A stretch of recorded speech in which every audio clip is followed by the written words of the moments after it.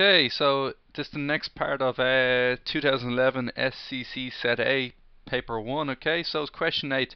During a certain point during the flight of a space shuttle, the booster rockets separate from the shuttle and fall back to Earth.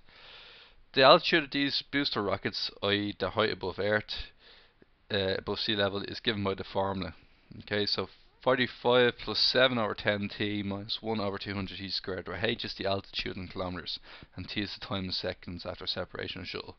Complete the table below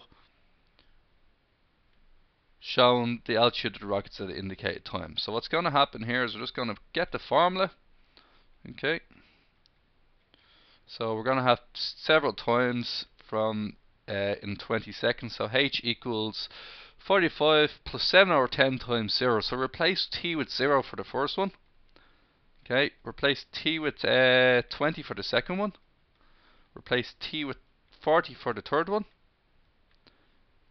Replace uh, t with uh, 60 for the next one. Replace t with 80 for the next one after that. And then finally replace t with 100 for the one after that. Now all you gotta do is put each equation into your calculator. Okay. And then fill out the the table up here. So first one turns out to be 45, second one turns out to be 57 kilometers, third one 65, fourth one 69, 80 69, and 100 is 65 kilometers per hour. Now what you're going to notice is that the first of all the uh, the what's going to happen here, okay? Is basically the rocket goes up, okay? So the rocket here goes up. And what happens is it starts it has an initial speed carried from the thrusters, okay? But then gravity acts against it, so it's going to come up and then go down again, and it's going to have a maximum height, okay? So what happens is we'll notice here that it stays at 69 twice. This means that it's gone up and come back down again. It just doesn't stay at 69. It rises and then falls back down again. So we know that the maximum height is in between 60 to 80 somewhere, okay? So what's going and we also notice that it starts to drop on its way down. So what we got to do next is we got to draw a graph, okay? So to draw this graph, what we need to do is we need to realize that the minimum value is 45 and the maximum value was 69 on our table. So what we can say is we can put 40 there, 45, and then just go up in blocks of 5. Go up in blocks of 5 to save yourself time, okay? So what we'll see here is that we have blocks of 5 all the way up, all the way up to 70, maybe even 75, okay? So what's going to happen next is we're going to start drawing the graph, okay? So the first point is 0.45, next point is 20.57, the next point after that is probably going to be uh, 40.65, the next point after that, which is denoted in red, red ones are the points, is going to be 60, 69, 80, 69, and 165. So we can see here, if we join all these points together, we sort of get that arc and expression that we're uh, expecting. So remember when you're joining up the points to make sure that it's smooth and each point goes through the each line goes through each point. So this is our graph here, okay? And we see our x-axis there. So what we're going to be asked to do next is we're going to go to, we've done question B where we've drawn the graph. The altitude of sky for 100 seconds so we've done part B now we're doing part C. Use your graph to estimate the greatest altitude reached by the rocket okay? So it's going to be the tip of the peak okay?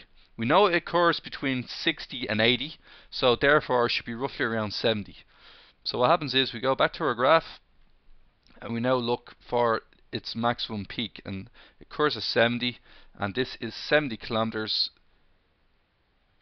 It happens at 70 seconds as well and it's also 70 kilometers which is this value here 70 kilometers above the uh, above sea level okay? So this is it here. The next part what we gotta do here is use your graph to estimate one time at which the altitude is 60 kilometers an hour.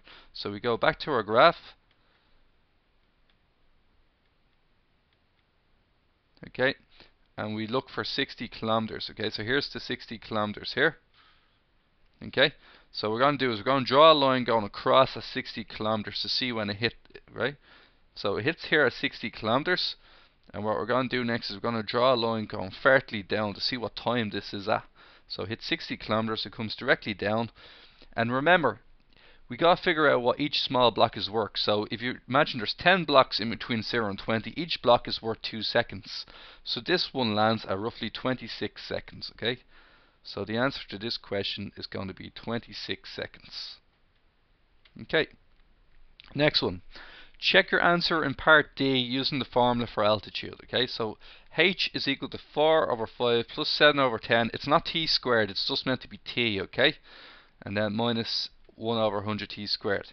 So what's going to happen is we know that it's 26 seconds. Once again, that's not squared, so don't worry, I didn't do it, right? So it's 7 over 10 multiplied by 26, and what happens is 26 squared, and we know that the height put all that into your calculator. Once again, leaving out the squared, it's not meant to be there.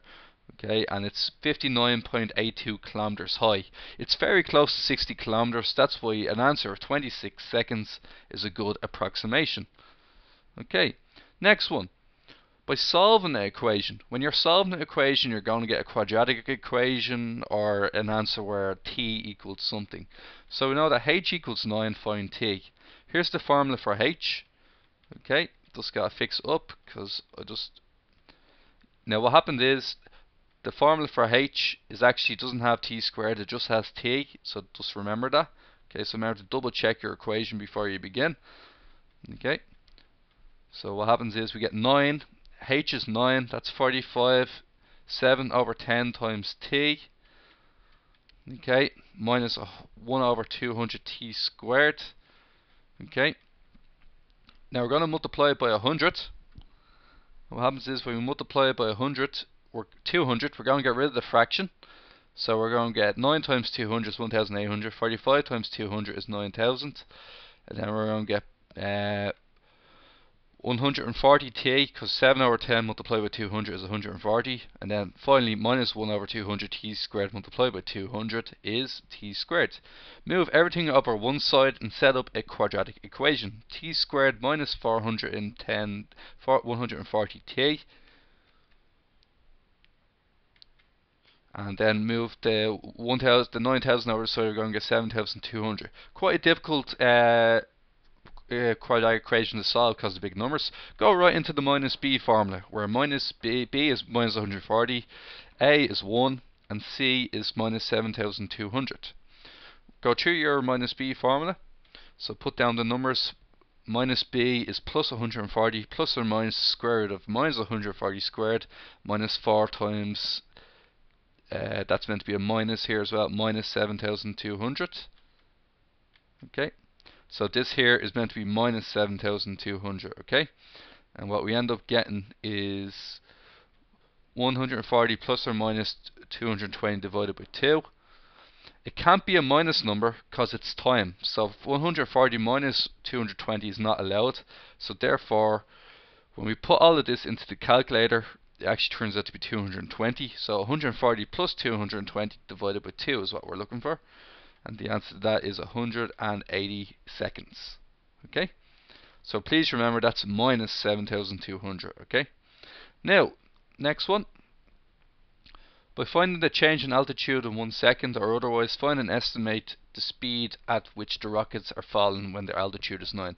Now remember, in differentiation, if you have a formula where h is the distance, then the first derivative is the speed. So the first derivative is the speed. So what we're going to do is we're going to differentiate this equation here. Differentiate it. And 45 turns to 0. 7 over 10 t turns to 7 over 10 because the t disappears. To differentiate 1 over 200 t squared, bring the 2 to the front, then divide by 200. So what we get here, bring the 2 to the front, and what we get is 2 multiplied by 1 over 200t and 7 over 10t minus 2 over 200t is the speed. Okay. Now to get the speed, we have to know the time.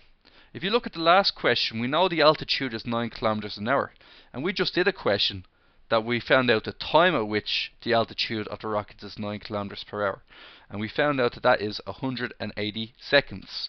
So replace t with 180 seconds, and what we should get is we should get our speed. So replace that with 180 Replace t with 180.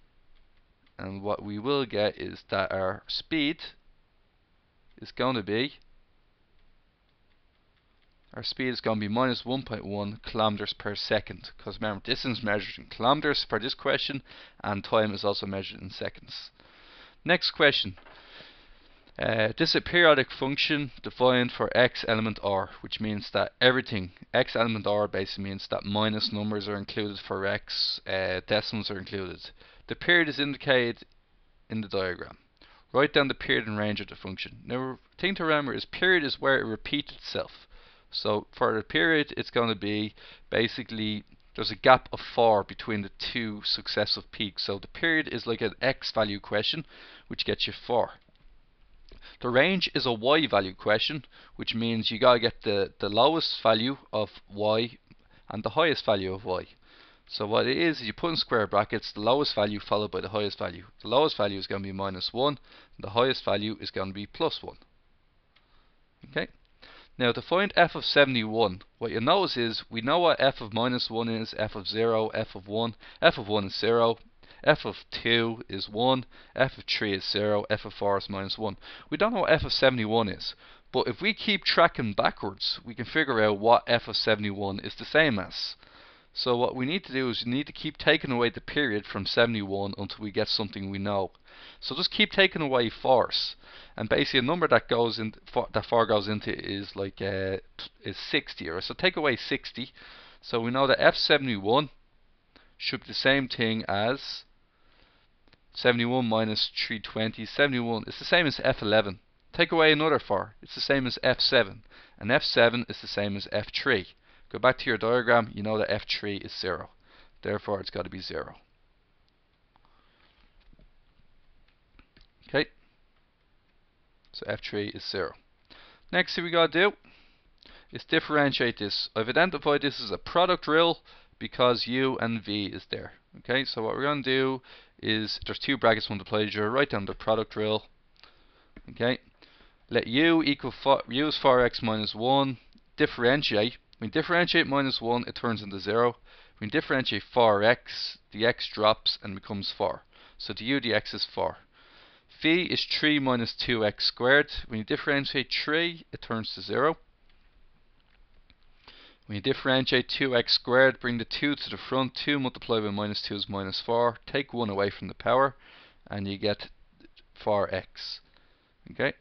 And what's happening next is dv dx is minus 4x. Plug in your numbers into your equation and remember to simplify your answer. Simplify your answer means multiply out your brackets. So we get u is 4x minus 1, dv dx is minus 4x, phi is 3 minus 2x squared, and du dx is 4. Multiply them out. 4x times minus 4x minus 16x squared, minus 1 times minus 4 is plus 4x, 3 times 4 is 12, minus 8x squared, Take the x squareds away from you get minus 24x squared plus 4x plus 12. Now, what's going to happen next is you can basically factorize it by taking out minus 4. If you take out minus 4, what's going to happen here is you're going to get 6x squared minus x minus 3 because they're all divi divisible by 4. Okay, that's those two done. Next one, we're going to do the product rule. And when we're doing the product rule, it's gonna uh, sorry we're, we're doing the quotient rule because it's a fraction. Now you gotta write down the quotient rule where dy dx is uh, phi times du dx minus u times the v dx over phi squared. Now it wants us to find out the range of values for which dy dx is less than 0. That tells us to differentiate and put our answer less than 0. So that's exactly what I'm going to do. u equals 1, therefore du dx must be equal to 0. So when you differentiate 1, you get 0. Next one, v equals x squared minus 3x. Differentiate x squared and you get 2x minus 3. And then put them in and what we get is phi is x squared minus 3x. Uh, 0 because when you differentiate du dx is 0. u is, uh, is 1 so minus 1 times dv dx which is 2x minus 3. Put them into their formulas. Phi squared on the bottom now, uh, x squared minus 3x multiplied by 0 is still 0, so that just scratches off. Multiply it out. and what we get is minus 1 times 2x is 2x, minus 1 times 3 is, that's actually going to be plus 3. Okay, so let's hopefully see if I figured this out. Okay, so minus 1 times 3 is plus 3. So, what we're going to do here is change this to plus 3. Okay, and this is all going to be less than 0 and it's less than 0 now what we can do here is we know that the bottom we know that for a negative number when you have something squared on the bottom it always has to be positive. Uh, so we know that the numerator the denominator is a positive number so therefore the numerator has to be smaller than 0 so it's going to be minus 2x plus 3 less than 0 so what we're going to do is going to bring the 2x out the other side and what we can get is uh, 3 less than 2x we can spin this around where 2x is greater than 3 divide by 2 x is greater than 3 over 2 okay next question let f of x equal 2x plus 1 over x, where x is element r and x is element 0. Find the equation of the tangent of the curve y equals f of x at the point 1, 3. Now remember, find the equation of the tangent. A tangent is a line. Find the equation of a line. Look this up in your geometry part of your course and you're going to see that it's x minus x1. Now if you imagine this is a curve, okay, and there's a point on the curve, which is 1, 3, and now what we need to do is we need to get a line that touches the curve like a tangent. So tangents only touch once, okay? So what we need to do is to find it, we need to know the slope of the line. So we need to find the slope, which is m. So we need to know the slope and the point at which a point on the line. We already know x1, y1. Now remember, we're in differentiation, and to find the equation, to find the equation of a, to find uh, a slope, in, in differentiation, the slope is the first derivative. So slope is dy dx, also known as f dash x. So what we're going to do is we're going to differentiate this here, okay? So differentiate 2x so y equals 2x plus 1 over x. So differentiate 2x and what we get is 2. Now this one here, u and v, so it's a quotient rule again, okay, so we're just going to do the quotient rule again. So when we do the quotient rule, we're going to get uh, dy dx ends up to be v times to u dx minus u times the v dx all over v squared. Okay, so what we're going to get is u equals 1 to u dx, therefore equal to 0. V is equal to x, therefore the v dx equals 1. Differentiate x, you get 1. So plug these in, and what we get for just this part here, this part here, is basically this part here just the whole thing, right? So that's just basically going to be the whole answer in here, okay? So what we're going to get is the y dx is equal to, when we differentiate that, we're going to get phi, which is x times the u dx, which is 0. And x times 0 doesn't exist, so that's gone. Okay, so that's gone. Next part, minus u times the v dx, which is going to be minus 1 times 1, divided by phi squared. And phi squared is x squared. So our answer here is going to be minus 1 over x squared. So we're going to have minus 1 over x squared. Now to get the slope, we had to figure out what value this is here. Okay?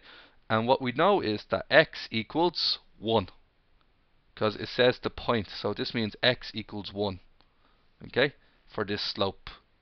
So that means that the y dx ends up to be 2 minus 1 over 1 squared, which means that the slope, or dy dx, equals 1. Now, now that we know the slope equals 1, what we can do next is just just uh, I'll do this here. We know that slope equals 1.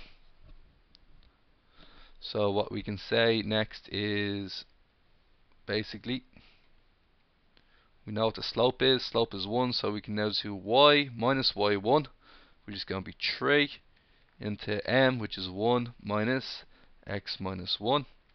Then we have y minus 3 equals x minus 1. Bring y and 3 over to your side, so we're going to get x minus 1.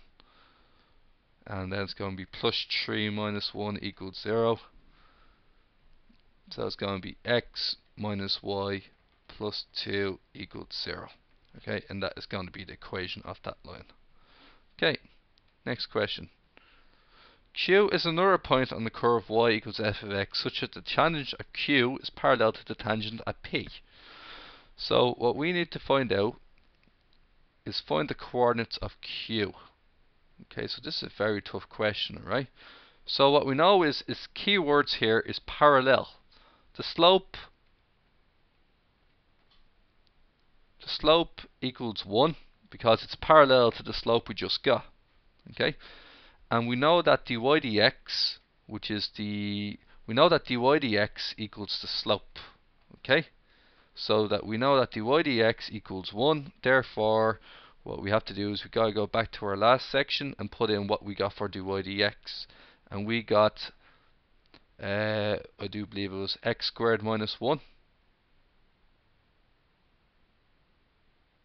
So when we differentiate this last time, we got 2 minus 1 over x squared. Okay, so 2 minus 1 over x squared. Alright, so it's 2 minus 1 over x squared equals 1. We have to solve this, okay? So first things first, bring bring the 2 over the other side. So we're going to get minus 1 over x squared equals 1 minus 2. Okay, we're going to get minus 1 over x squared equals minus 1. Multiply both sides by minus 1 and we're going to get 1 over x squared equals 1. Bring the x squared up and we're going to get 1 equals x squared. This means x is equal to plus or minus 1. Okay? Now if we're asked to find the coordinates, we need to find the x value and the y value. The x value is 1 or minus 1. And what we know from the last question is that the value that's 1 is 1 3 because 1 3 was one of the answers okay? So 1 3 is one of the answers. The only answer we didn't know was minus 1 so what we're going to do is we're going to have to find out what what value minus 1 is okay? So the y value the y value equals f of x. And what we know about f of x is that f of x is 2x plus 1 over x. And we know that x equals minus 1. Therefore, it's going to be 2 times minus 1 plus 1 over minus 1. That gives us minus 2 minus 1, which is minus 3. And this is going to be the point minus 1 minus 3. Okay, so that's that question there. Now, we're next on, that's end of question 8. So now we're on question 9. Okay, so first one of question 9. Differentiate x cubed minus 7x squared with respect to x. So the first one's going to be 3x squared. Bring the 3 to the front, take 1 away from 3. Bring the 2 to the front and multiply. Take 1 away from that, so it's going to be 14x. Bring the, take away the x, and you get 6. Okay, next question is a product rule. U and V. So the uh, sorry the quotient rule, excuse me, where if y equals u over v, then dy dx then dy dx is equal to uh, v times the u dx minus u times the v dx all over v squared. So what we're going to get here is the following. We're going to get uh, dv dx, so we're going to get u equals 3x plus 1. When you differentiate u to get the udx, the 3 disappears from the, uh, the x disappears from 3x and the 1 turns to a 0 so the udx is 3 v equals x minus 2 therefore the v dx equals the 2 disappears and there's a 1 in front of the x so when you differentiate that it turns to 1 Gotta plug in our numbers now.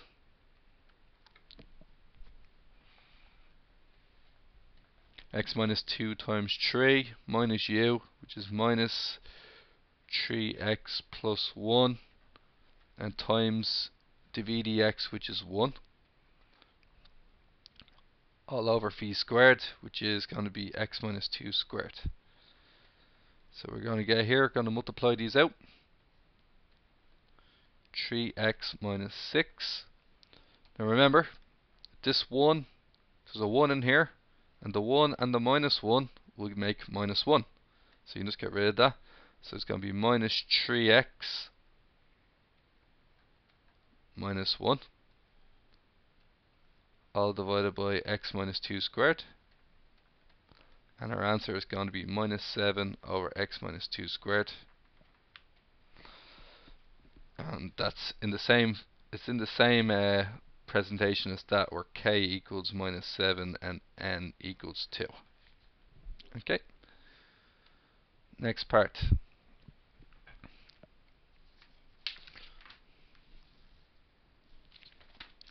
Uh, ball is uh, rolled in a straight line. Oh wait, A part 2, excuse me. I forgot about A part, I got B part 2. Knew it felt a bit short. Right, this one here is a product rule.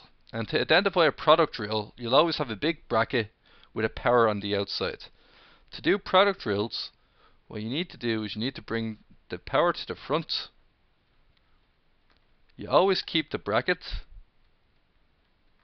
And like all differentiation, take away one from the take away one from the power. And then the part that most people forget is you got to differentiate the bracket itself. Differentiate x squared, you get 2x differentiate minus 2, you get minus 2, and then there's no need for the 9 disappears. Next thing you got to do is you got to replace all x's with minus 2's. So what we end up here is 4 times minus 2 squared minus 2 times 2 minus 9, all that to the power of 3, 2 bracket minus 2 minus 2. Now, just be careful with this Okay, so what I'd advise you to do is just enter each bracket individually into the calculator. Okay, so this is going to be minus 9 to the power 3.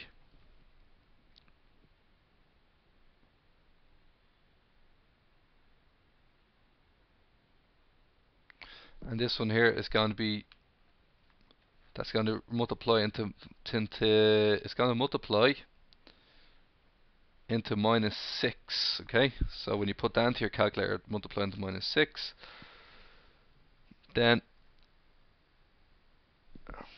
and the next thing was it's minus 2 so that is actually not that's not minus 9 it's actually it's actually minus 1 okay so just make sure you don't make any errors with the minus sign okay so it wasn't 2 it was minus 2 so when you put all this into your calculator what you would have got was minus 1 to the power of 3. Next thing you gotta do is you gotta put minus 1 to the power of 3. Just put it into your calculator exactly as it looks, and the answer you'll get is plus 24. Okay, next question. A ball is rolled in straight line along a surface. The distance s in meters the ball travels is given by is s equals 18t minus 2t squared, where t is time in seconds from the instant the ball begins to move. Find the speed of the ball after 3 seconds. Remember, if s is distance, the SDT is speed. Okay, so the SDT equals speed. So we got to differentiate this and the SDT. Differentiate 18t, bring get rid of the t, so you get 18 minus 4t. Uh, 2t squared, bring the 2 to the front, take 1 away from that, so you're going to get minus 4t. Find the speed of the ball after 3 seconds. t equals 3. So it's going to be 18 minus 4 times 3. And it's going to be 18 minus 12. And the SDT ends up to be 6 seconds. Okay, so 6. Now, it's going to be its speed, remember, so it's not kilometers per hour, it's going to be uh, meters per second. Okay, so meters per second. How far is the ball from the starting point when it stops moving? When it stops moving, its speed equals zero. Because it's no longer moving. And its speed is 18 minus is the first derivative. So the SCT is speed. Therefore 18 minus 4t must equal 0. Bring the 4t over to your side, so the 18 equals 4t. 4t therefore equals 18. Therefore, it takes t equals 18 over 4.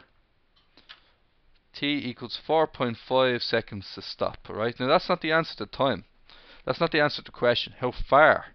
How far means distance. So to find distance, you need to write down the distance equation. And you know that the distance equation is this. s equals 18t minus 2t squared. Therefore s equals 18 multiplied by 4.5 minus 2 times 4.5 squared.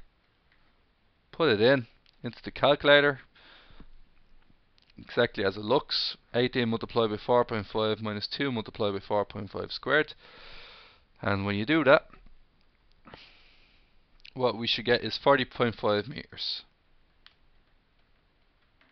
Okay. Next part. Show that the speed of the ball decreases at a constant rate while it is moving. Okay, so show that the acceleration equals a constant. Now a constant is a number that can change value. So it can have no letters. Okay, an example of constants would be 4. 4 is a constant. Well, 4t isn't a constant because it has a t in it. Okay, so that's what we got to look out for. Now, now the trick with this question is show that the speed of the ball decreases. So we're talking about the acceleration. Acceleration is acceleration is basically the change in speed. Okay, so to get the acceleration, what we got to do is get the second derivative. Okay, so if the first derivative is 18 minus 4t, we need to find out what the second derivative is by differentiating this again. And the second derivative is the acceleration. Okay, and 18 turns into 0, minus 4t turns into minus 4. So basically, it's minus 4 meters per second squared. So it is a constant acceleration because it's minus 4 meters per second squared. Okay, next one. Now, what I'd probably get you guys to do here is just basically uh, you might want to just put them into the calculator and find out. You can put them into your calculator or you can work them out individually. So the calculator is probably the best way to do it using the table function in your calculator, but we can do it out the uh, the longer way at the moment. So we can say f of minus 5, which means replace x with minus 5 is 1 over uh, minus 5 plus 2. F of minus 1.5 is 1 over minus 1.5 plus 2. f of minus 1 is basically 1 over minus 1 plus 2. f of 0 is 1 over 0 plus 2. It's a handy one. It's 0.5. Okay, and then f of 1 equals 1 over 1 plus 2. Okay, so we now know what each one is, right? So we're going to do them in decimals. So f of minus 5 is basically minus a third when you put it into your calculator and minus a third in your calculator is minus 0.33 and has the hat on it because it keeps going on forever okay minus 1.5 is minus 1 it's basically 2 okay so it's going to be plus 2 this one here equals plus 2 the next one equals 1 and the one after that equals plus a third.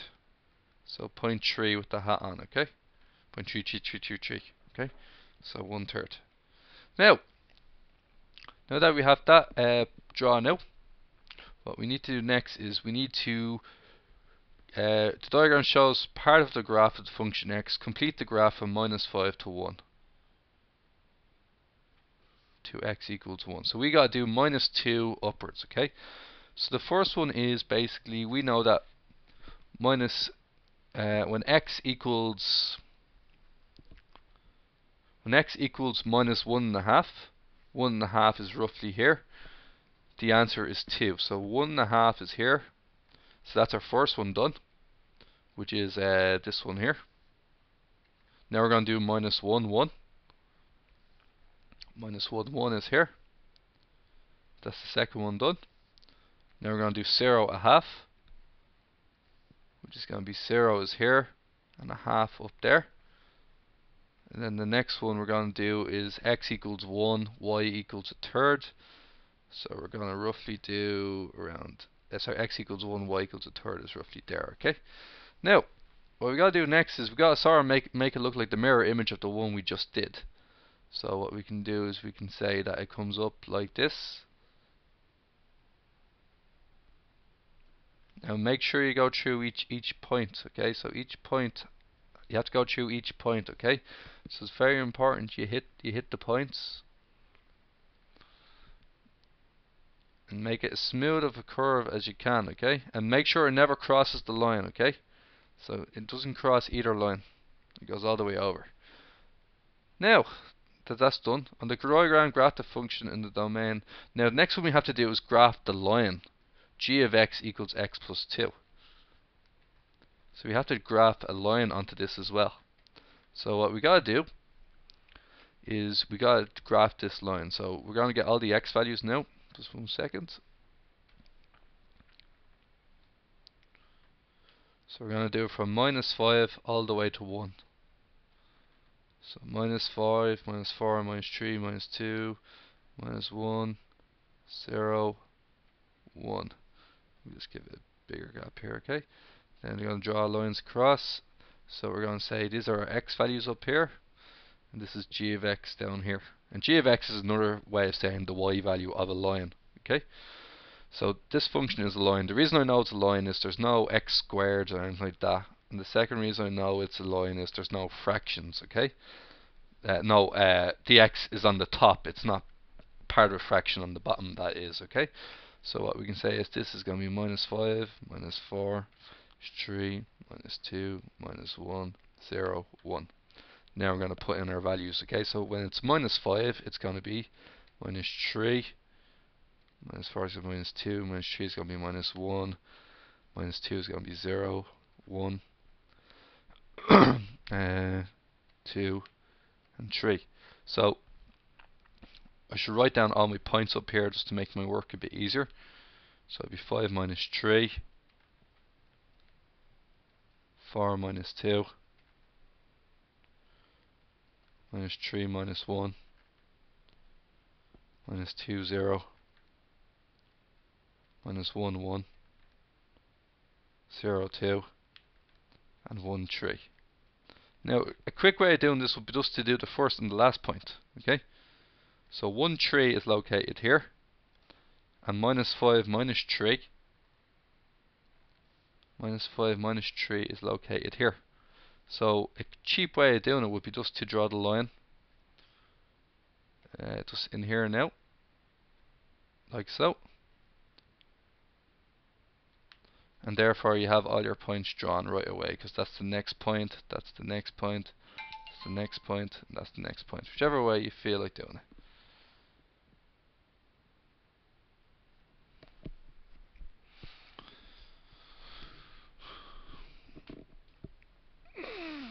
So what happens is that's our line drawn now. Okay, so that's our that's our question asked there on the diagram of draw the function. Okay, so we're on our next question now. Use the graph to estimate the range of values for which f of x. This means the value of the curve, the y value of the curve, is smaller than or e equal to the y value of the line. Okay, so let's find this out using the graph, okay?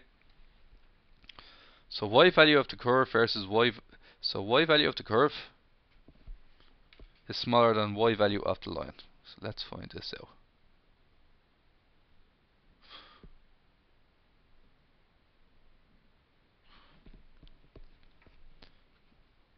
Okay, so once again, I'm just going to reread this question one more time. y value of the curve is less than y value of the line. Okay. So y value of curve less than or equal to y value of line.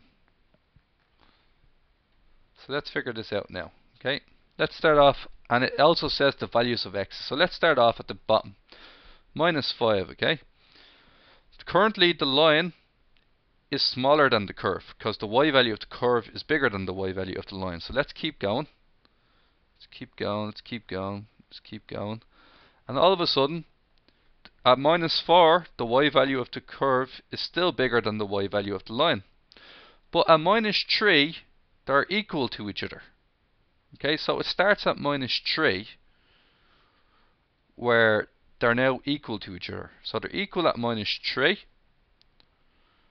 From minus 3 to 2, the line the line is bigger than the curve.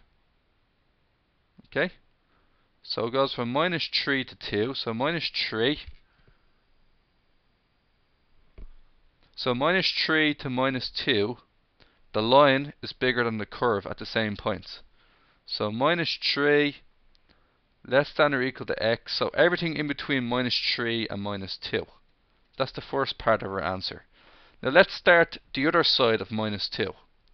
The line emerges again.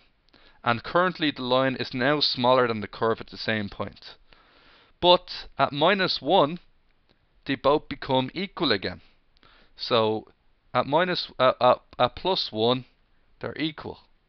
Okay, and anything above plus 1 it seems to be greater than because the line is bigger than uh, x equals 1 the line is higher than the curve so it's going to be x greater than equal to 1 everything over x equals minus 1 sorry it happens at minus 1 it's going to be uh, so everything greater than x equal to minus 1 it gets bigger because you can see that the curve is bigger than the line curve is bigger than the line now they're equal now line is bigger than curve, line is bigger than curve, line is bigger than curve. So anything bigger than minus 1, it's bigger. Okay? So our answer is, answer for this question is minus 3 less than or equal to x less than or equal to minus 2 or x greater than or equal to minus 1. Oh sorry, and. Okay, prove that the curve has no turning points. Turning points means to, to find a turning point, we put the first derivative equal to 0. We find the x value. Then we find the y value. Find x's, find y's. So in order to do this, we have to differentiate it and put equal and solve equal to 0. So what we need to do is we need to get the equation. So y equals 1 over x plus 2. Remember, f of x is the same thing as y. Next thing we're going to do is differentiate this. And we can differentiate this using the product rule.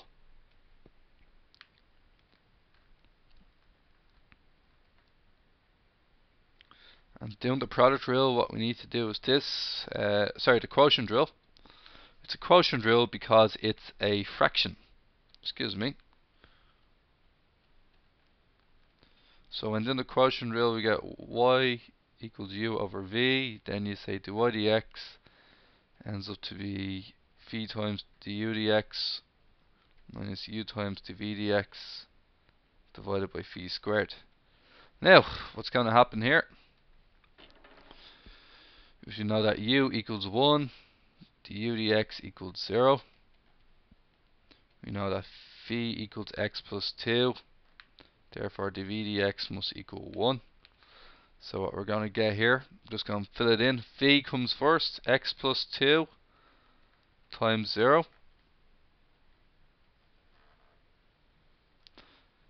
minus u times the v dx, which is going to be 1 times the v dx, which is also a 1, all over x uh, phi squared, which is x plus 2 squared. And what this happens is it's going to be minus 1, because that turns into 0. So minus 1 times 1 is minus 1 over x plus 2 squared. Now this has to be equal to 0. And the problem with this is that the one on the bottom is always a positive number. So minus 1 divided by a positive number can never be equal to 0. So when you cross multiply, you get minus 1 equals 0. And minus 1 minus 1 cannot be equal to 0. This equation has no solutions.